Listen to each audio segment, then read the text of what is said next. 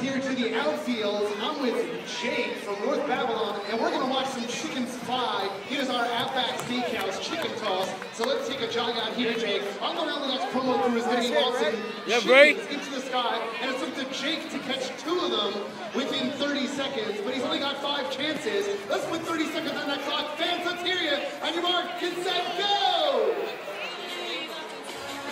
A good throw in the first one. He's Here comes another chicken. It's a little short. 21 seconds, fans, make some noise.